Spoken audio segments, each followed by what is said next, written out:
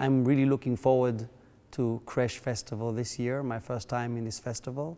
And it's so amazing to work with both uh, Ensemble Modern and HR Orchestra, which uh, I respect so much and enjoy working with.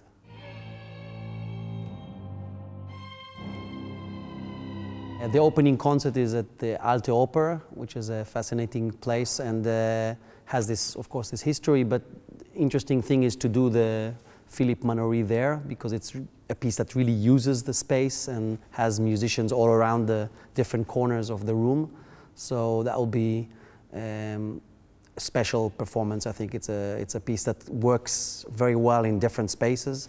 So I'm very curious to hear how it sounds. Uh, it's very hard to know in advance uh, how that will work. And uh, also the audience, of course, every place you sit, you will experience the piece in a different way.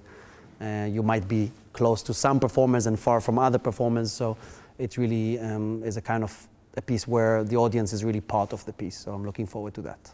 On Friday, we have Take Death, a concert with Ensemble Modern Orchestra, um, which are just unbelievable to, to conduct. Um, for me, it's also fascinating because I haven't worked with any of these composers before. Uh, Matalon, uh, Gander, and Grütter, they're all new to me.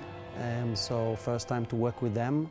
Uh, each piece is very powerful, lots of energy. So it's kind of a, um, like a real running kind of match. Uh, lots of huge sounds, a lot of electronics used as well. Um, so I'm really happy about that. We just did the first uh, two days of rehearsals with these pieces and they sound quite amazing. So it's, uh, yeah, it's really going to be a fascinating concert, I think. I've been working uh, on this project, Tectonics Festival, for over five years now. Started uh, in Iceland Symphony, with Iceland Symphony, and uh, usually uh, we do around uh, at least three, four projects a year, sometimes more, um, collaborating with different orchestras and different ensembles and different venues.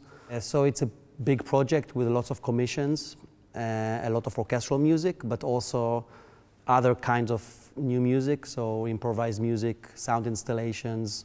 So it's usually mixed uh, in that way. And also there are several people that I work with repeatedly. And especially in this project in Wiesbaden, we present uh, many of the projects that, that have been going on for a few years. So first working with Eliane Radigue's music, an amazing uh, French composer who has, has this kind of revival in the last 10 years.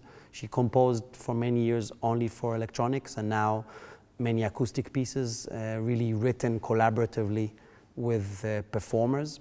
So uh, we have Rhodri Davies who performs her solo harp piece, which is one of the first pieces she worked, uh, she, she did for acoustic instruments, and which is really an amazing piece. Um, and um, we have also other pieces by her as well. So, and then the contrast with Alvin Lucier, who is a composer that's very connected to her music, but, but from another direction altogether. So um, that's another kind of interesting relationship between these two composers who, who know each other, of course, and, and since probably since the 70s when, when Eliane was in New York quite a bit.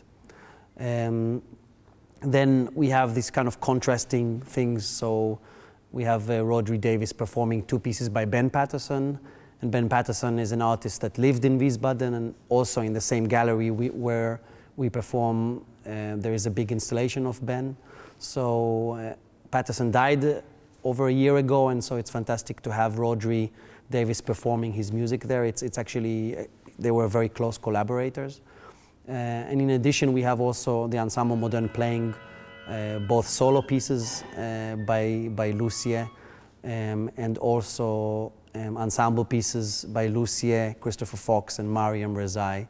The Mariam Rezaei is actually a new piece by her. She, I've worked with her several times. She did a, an amazing orchestral piece for Glasgow a few years ago.